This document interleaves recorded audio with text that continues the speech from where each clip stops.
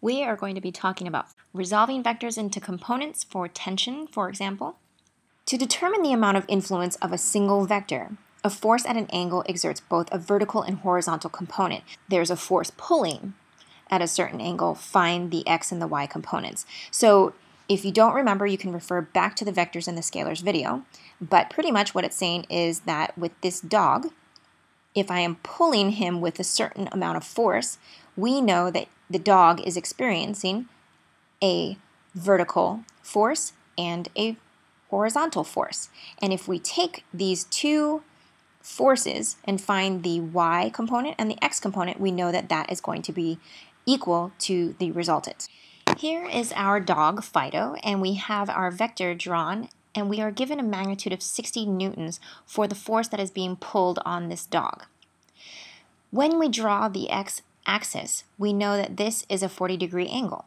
Given these two numbers, we should be able to figure this out, given that we already know how to calculate for each side of a triangle.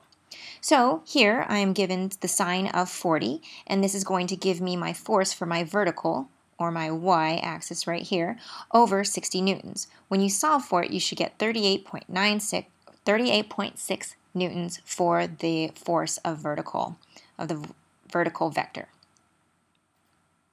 For my x-axis, I figure this to be 45.9 newtons. An 800 kilogram beam supported by two ropes. That is what we're looking at. So here is the first rope.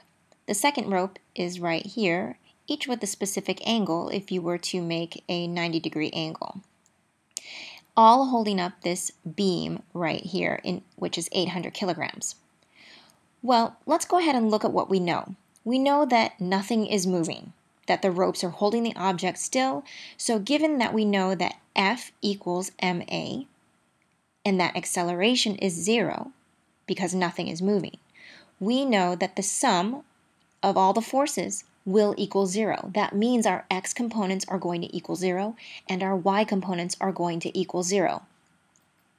How do we do this? So step one, you want to first draw a free body diagram of the picture. So this is the picture, but we're going to put this into a little bit more user-friendly mode. Here is our free body diagram. So notice that my body is a very tiny point where the vectors are coming from, showing the tension in rope 1 and rope 2, and then the mass, which is 800 kilograms of the beam. Now we do draw a, a horizontal line, the x-axis, in order to show that we understand that if you were to split this in, in half right here, that you would have a 90 degree angle. If we're given that this is 20 degrees and the second angle here is 30 degrees, we should be able to find that the angle over here closest to the x-axis for ten, uh, for rope 1 is 70 degrees, and we have 60 degrees over here for the angle closest to the x-axis for rope 2. Step 2 is to break down each rope and the beam into x and y components. So what are those? Here's what it looks like. Here is the x and the y for our rope 1 and our x and our y for rope 2. We also do know that when we decide we want to take this 800 kilogram, we do need to transfer this into newtons in order to better work with it. How did I get that? We used the weight equals mass times gravity, and that will give us our weight in newtons. So this is the force of the 800 kilogram beam pulling on the, the two ropes. Step three is to list all the forces in the x and the y directions. So here we have our three objects in, of interest. We have rope one, two, and the beam. To figure out the x and the y components, you're just going to do your normal sine and cosines of whatever angle you are trying to figure out. So here we have 70 degrees. So for rope 1, for the x portion, we are going to have a negative t1 cosine of 70. And remember that cosine is just the uh, uh, adjacent over the hypotenuse, and then when you rearrange it, then you get this. And it is negative because it is in the second quadrant, it is going to the left. For your y portion, or your y component of your rope 1, that is t sub 1 sine of 70. Over here in your second rope, rope 2, you are going to have the sine and the cosine of 60. And for your beam, we actually don't have an x component, so that is going to be 0. And we have a y component of negative 7,848 newtons. And the reason why that is negative is because if you look over here in our free body diagram, the vector is going down. So therefore it is negative. We go ahead and now we remember that the net force, the sum of all forces, needs to equal zero for both the x and the y components. So all we need to do is just add these up and add these up and set them to zero. We can go ahead and solve them. So cosine of 70, put that into your calculators, cosine of 60, add up these factors and set them to zero. So that would give us negative 0.342 T1 plus 0.5 T2 equals zero. And then let's go ahead and move this negative 0.342 over, and then we get 0.342 positive T1 equals 0.5 T2. This will come in handy later.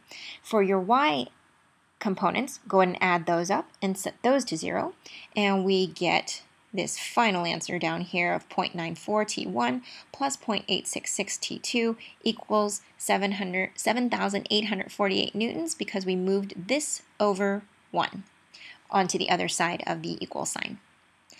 Next, step 4 is to substitute one variable into the other equation. So we are going to substitute this into the other equation.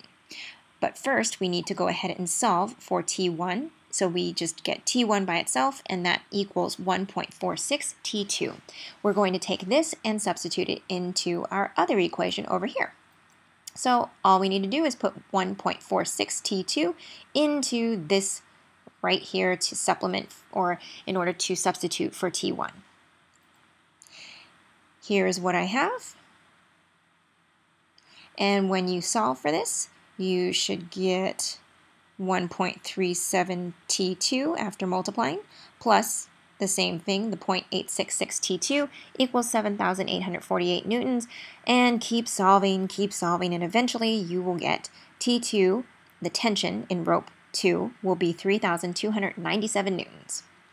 Yay, now we have our variable. We have our number for T2, so now all you have to do is solve for rope 1 by plugging in this number back into this small little equation up there. So we have t equals 1.46 t2, and we have our t2 as being 3,290, 3,297 newtons. Plug that in, multiply, and solve. And that is your answer. So now you know that your tension in your rope is 3,297 for your second rope, and your other tension in your first rope is 4,813. All right, this is the end of our T-notes. Thank you very much for watching. Be sure you understand this information and can start to use it in class next.